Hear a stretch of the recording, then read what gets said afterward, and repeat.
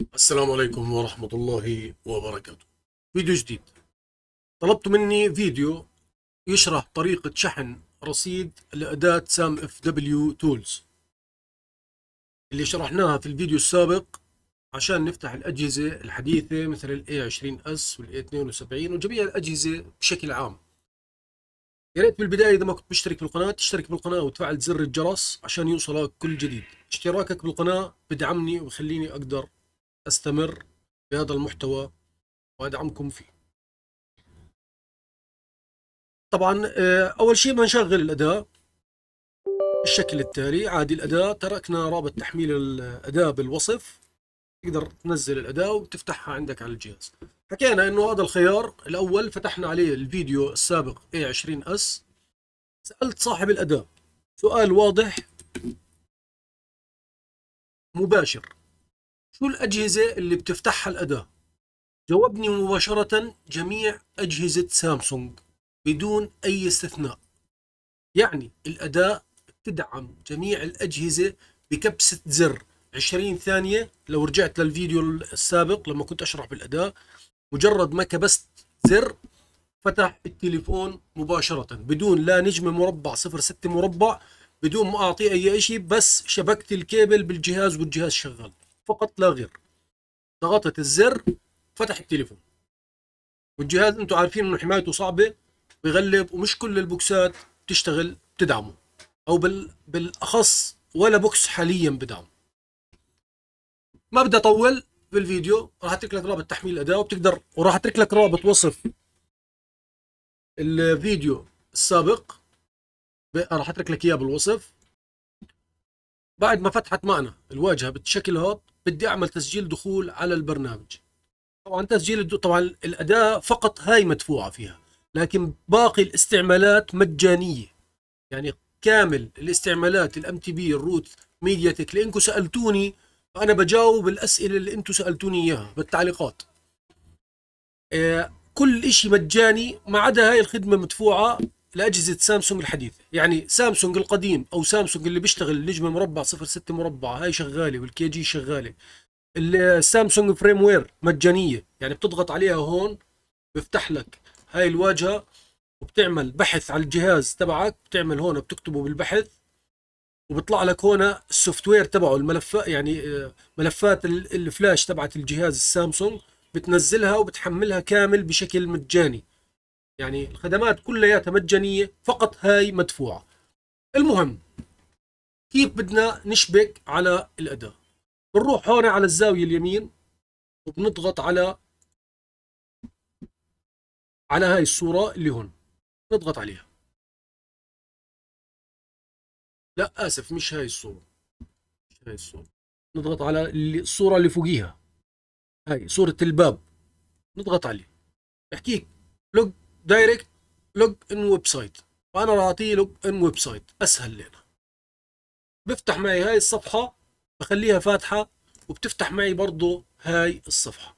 هون بطلب مني أعمل تسجيل دخول. أنا عامل حساب تجريبي هون راح أعمل فيه login. شو أعطاني هون؟ أعطاني login success you can close the page بتقدر تسكر هاي الصفحة تمت العملية. بعمل close شو صار هون؟ صار عندك هون الإيميل. صار عندك ال credit صفر بالشكل هذا الآن أنا بدي أضيف credit للحساب. كيف الطريقة؟ باجي هنا في صورة سلة. زي ما أنتم شايفين. هي الخيار الثاني؟ سلة. بضغط عليه. بحكي لك كم الرصيد اللي أنت بدك آه، تضيف بتقدر تختار هون 15 30 45 60 اللي بدك إياه. أنا ممكن اختار هنا مثلا 25 إذا أنا مثلا بدي أفتح جهاز مثلا معين أو بدي رصيد معين يعني أنا بدي أشحن 12 بشحن 12 يعني بكتب الرقم اللي بدي إياه بالشكل هذا. وبعمل pay بكبس على pay. مجرد ما كبست عليها فتح معي الصفحة بالشكل الشكل هذا. هلأ هنا زي ما أنتم شايفين أعطاني إنه أنا بدي 25 credit اللي أنا طلبتهم وكتب لي سعرهم هنا 25 دولار. يعني ال credit سعرها دولار. هيك بكون أنا جاوبت السؤال برضو اللي دائما بتسالوني إياه بالأسفل. هلأ بض... عندي الخيارين الموجودين هون. في عندك pay now on Buy Me a Coffee هذا الموقع تقدر تدفع من خلاله فيزا. وإذا كنت عندك عملات رقمية تقدر تدفع من ال USDT من هون. بتضغط هون. وبتكتب بتختار مثلا USDT وبتحول أو عن طريق ال U ال UID مباشرة وبس تخلص بتعمل I am finish مجرد ما عملت I am finish هون بس بتكتب رقم ال order. لما أنت عملت الدفع بيطلع لك رقم order من التطبيق. بس بتكتب رقم ال order وبتكتب وبتكبس I am finish نص ساعة ساعة بيكون ضاف الرصيد. إذا أنت حاب تدفع عن طريق الفيزا فبتضغط على الخيار هذا اللي هون. وبتضغط بعدها مباشرة على هذا الخيار عشان تدفع عن طريق الفيزا. بفتح معك الموقع بالشكل هذا. بترجع هون بتعبي الرصيد يعني لما بتكتب إنه أنا بدي مثلا 25 بيطلع لك هون قدس تضغط عليها بطلب منك تعبي الاسم والإيميل. الإيميل اللي بدك إياه. المهم لازم تكتب إيميل.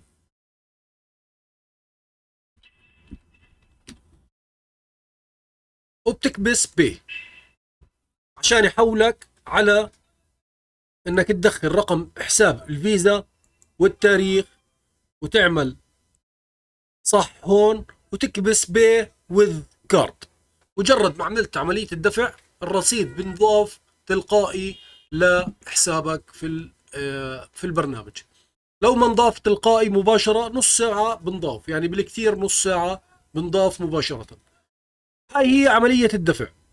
إذا كانت الشرح سريع تقدر ترجع بالشرح تبطئه تقدر يعني إنك تعرف.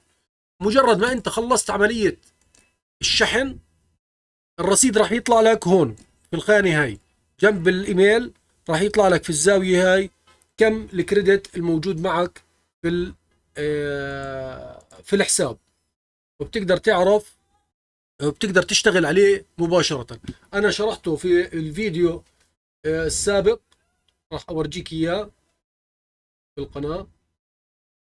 لو أجينا على الفيديوهات الفيديو اللي هون. هذا الفيديو أنا شرحت فيه ال A 20 S وزي ما حكيت لكم الجهاز فتح معي ب 20 ثانية مباشرة وبدعم كل الأجهزة سامسونج. هذا هو الشرح راح أترك لك برضو رابط هذا الشرح موجود بالقناة. هذا كان شرح طريقة شحن الرصيد. لأداة SamFw Tools. إن شاء الله يكون عجبكم الشرح. نراكم في فيديو قادم إن شاء الله. والسلام عليكم ورحمة الله وبركاته.